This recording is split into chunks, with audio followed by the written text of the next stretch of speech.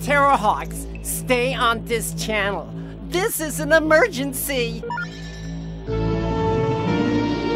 Space Sergeant 101 is the commander of the Zeroids stationed aboard Spacehawk. Highly strung and highly emotional, Space fire and damnation! 101 also enjoys a very close working relationship with Lieutenant Hiro.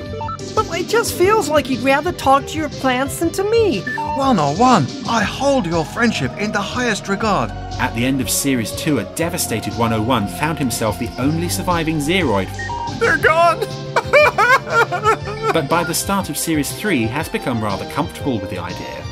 Don't sound so disappointed. Yet as Zelda's latest diabolical plan unfolds, 101 will do all he can to help save the captured Terrahawks who are being held prisoner on Mars, even if that does include his old rival, Sergeant Major Zero. Zeroid array!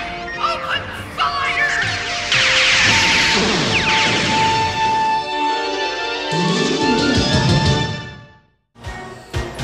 Oh, I wouldn't miss this for the world, Captain.